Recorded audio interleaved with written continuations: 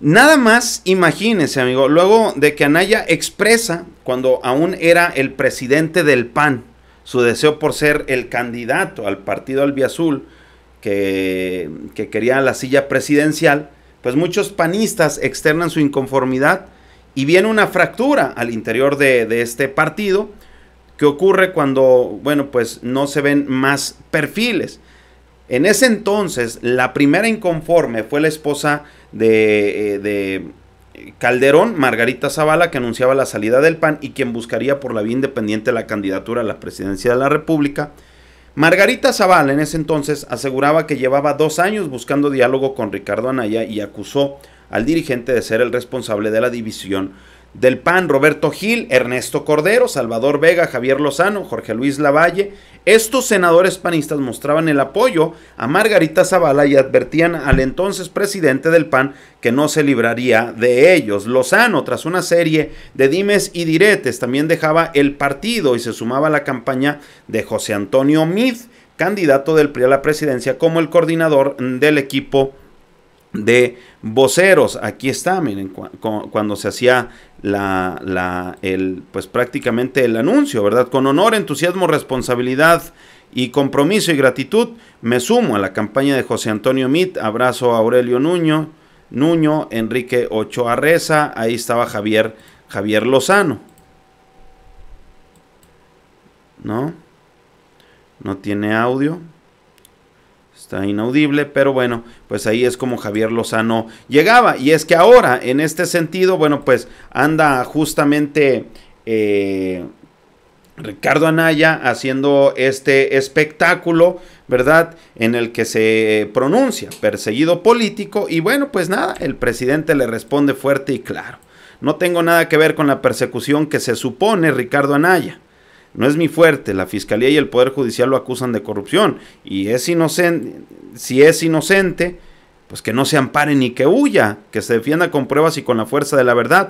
Ya no es el tiempo de antes, puede haber políticos presos, pero no presos políticos. Así respondía el presidente Ricardo Anaya. Vemos cómo desde que él estaba en el PAN dirigiendo, pues prácticamente tenía varios ya enemigos dentro del mismo partido. Ahorita este partido está a nada de perder el registro nacional. Viene una contienda eh, interna entre el partido que se van a decir quiénes son los más rateros, los más corruptos, los más estos, lo más lo otro. Y, y, ¿por qué? Porque van a buscar al dirigente nacional. Marco Cortés quiere reelegirse y seguir eh, por, por esta... Eh, en esta situación de seguir comandando al PAN. Sin embargo, bueno, pues el pueblo de México dice, no, sí, que quede Marco Cortés porque vemos el mal desempeño que está haciendo, ¿verdad?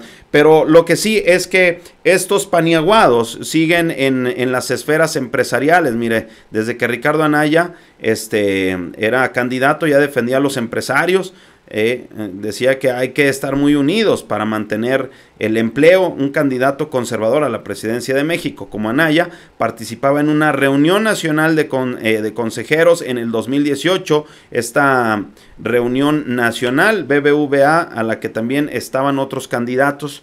¿verdad? Incluso Enrique Peña Nieto, el candidato eh, del conservador partido del PAN, defendía a los empresarios, amigos, este empresariado del país, asegurando que eran muy clave para generar empleo en respuesta a la crítica vertida por el aspirante entonces candidato Andrés Manuel López Obrador. Ya los defendía. Marco Cortés ha quitado del entramado, señoras y señores, justamente a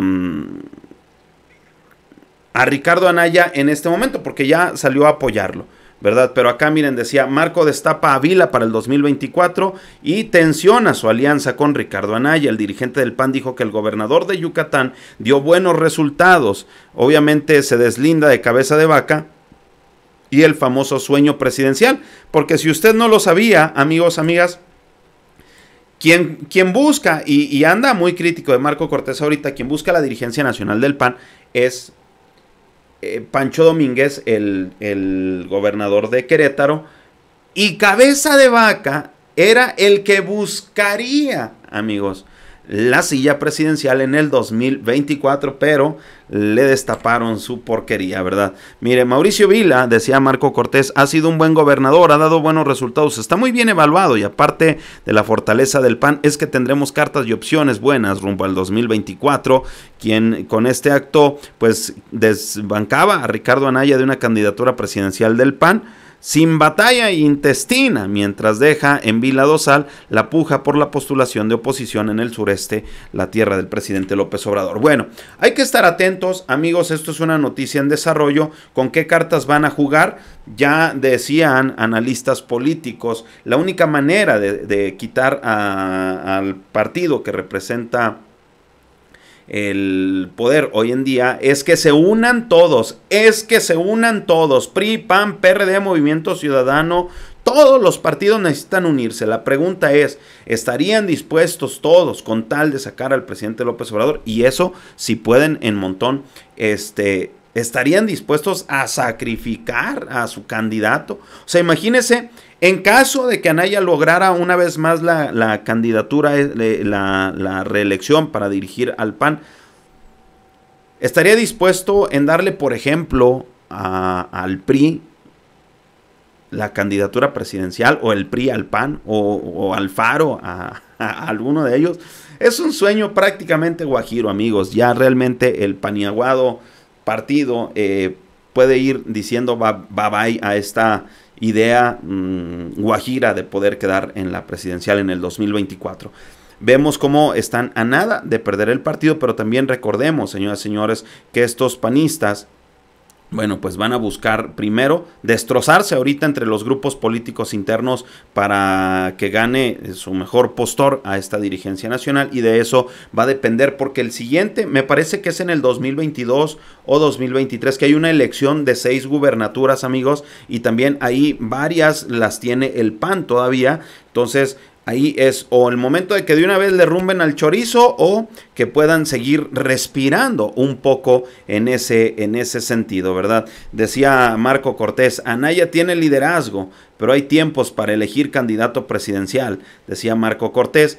Esto, pero luego fue esto, amigos, lo que les decía de Mauricio Vila. Entonces, ya ahí Ricardo Anaya pues perdía prácticamente eh, eh, esta postura en la que le daban el respiro, ¿verdad?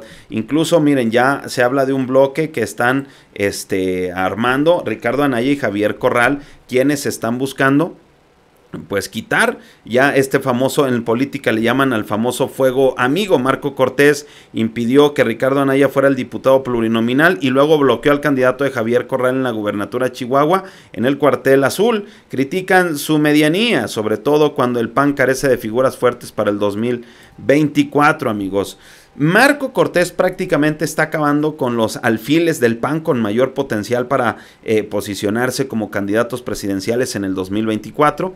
Ricardo Anaya y Javier Corral, la afirmación surge del propio cuartel azul, donde las críticas al presidente nacional de ese partido están a todo galope, amigos, amigas, ¿verdad?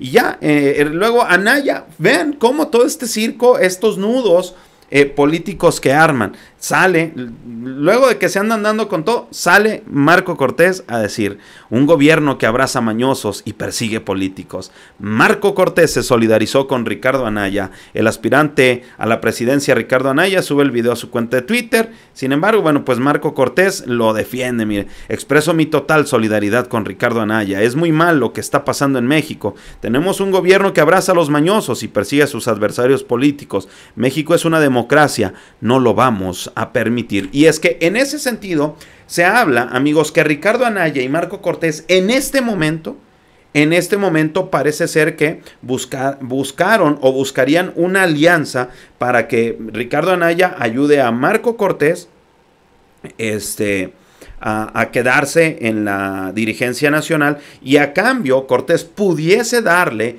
obviamente la candidatura presidencial como el pago del favor. Pero también la pregunta es, eh, amigos, mm, van a permitirle los otros panistas a Marco Cortés se salga con la suya, ¿verdad?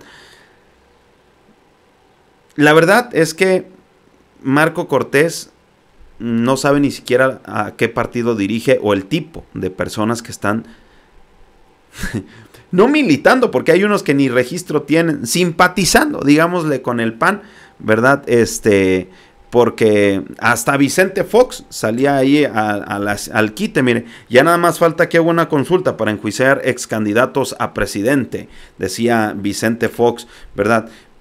No saben el caso de toda la, situación de la maña que hizo Felipe Calderón, García Luna, Cárdenas Palomino, Ramón Pequeño y toda esta podredumbre que dejó Felipe Calderón desde el PAN.